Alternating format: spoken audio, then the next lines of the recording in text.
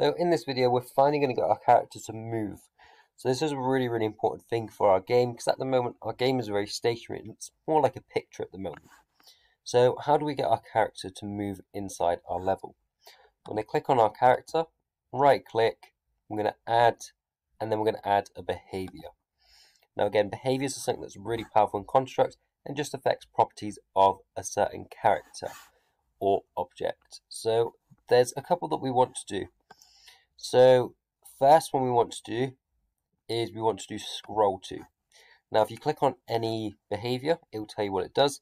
Always center the view of the object or midpoint of multiple objects. So what does this mean? This just means that the camera is now going to follow our player. So that's a really important one to have on. We want to also add another behavior, so we can add multiple behaviors to the same object. Our player is going to have quite a few. And we want to scroll all the way down until we get this one called platform. Jump and run along platforms, solid and jump through objects. So press add. So when we click uh, play, what this is going to do is now we're following our character and I can use the left and right keys to move it and I can jump. Now we start to see some problems once we're playing our game. Actually our character takes up a lot of the screen and we can't see a lot what's going on. So now's a really good time to change and reformat some things in our game. So we're going to make our character much smaller. We're also going to make our platform a bit smaller as well. So now when we play it, our character doesn't take up as much of the screen. If we fall off, you see our character just disappears and we'll fix that later on so our character does respawn. And when we've got this platform behavior on, we also change the properties of our object. So we've got our standard properties that we might have seen before, but now we've got two new ones. So for scroll to, we've got yes or no. So we want this on as yes, so our camera is going to follow our player.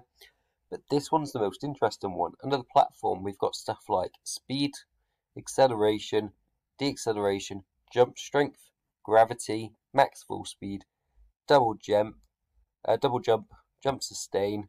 So time in milliseconds to allow to jump again, um, reach higher of holding. So if you're holding, you can jump higher. Default controls and if platform is enabled. So with this, we can quickly change some stuff and we can make it so our character can jump much higher. They've got less gravity and they move much faster. So depending on the game you're making, you might want to play around with these options to see how they work. You need to be very careful. As you see, my character is now lost, and because of the very, very low gravity, my character is going to take a very, very long time to come back down. So be realistic.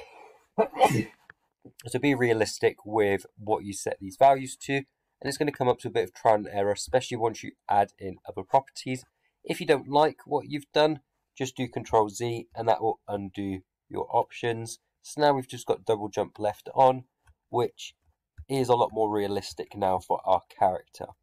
So that's how we get our character to move around the level.